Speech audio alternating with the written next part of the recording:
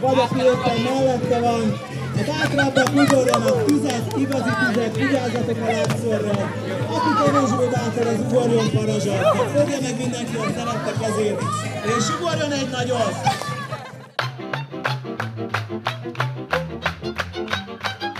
Gyertek ide a zenekarhoz!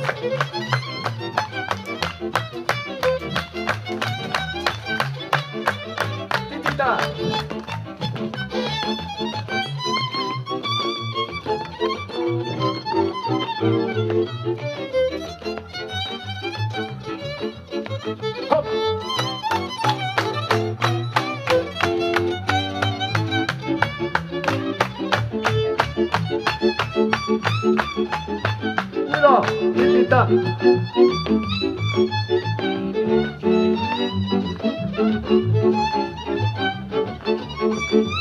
Június 21-én van az év legrövidebb éjszakája. Valójában ilyenkor a, a sötétség ellen harcolunk, és a napot próbáljuk megsegíteni abban, hogy, hogy győzze le a sötétséget.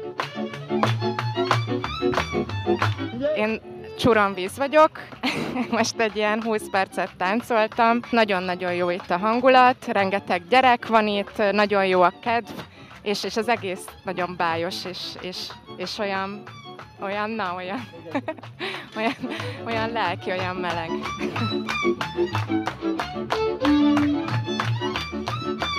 Ez a Szent Ivánéi mulatság, ez most már negyedik alkalommal rendezzük meg, és úgy tűnik, hogy egyre nagyobb sikerrel egyébként, tehát most már híre ment itt a telepen. Az idei rendezvény megszervezéséhez a Józsefvárosi Önkormányzattól is kaptunk támogatást, pályáztunk, és valószínűleg azért is, mert hogy a híre oda is talán eljutott. Én azt gondolom, hogy ez egy nagyon jó közösségformáló program. Itt a, nem csak a helyiek, hanem a környékbeliek is találkoznak, ilyenkor beszélgetnek, kicsit jobban megismerik egymást, és azért hírét viszik itt az Egyesületünknek.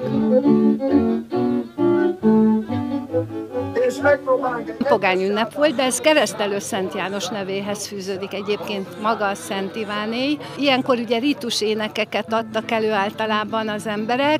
Ezt annyiban próbáltuk feleveliníteni, hogy nyilvánvalóan népi együttes, tehát néptánc együttessel, népi zenekart hozunk ide. Azt gondolom, hogy ez az, ami leginkább közel áll ehhez az ünnephez, és ezt is nagyon-nagyon szeretik az itt lakók is. Na most megismételjük az egyes csátást.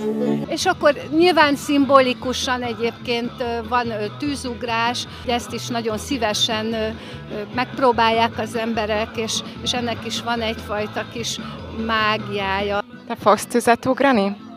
Igen, abszolút, igen.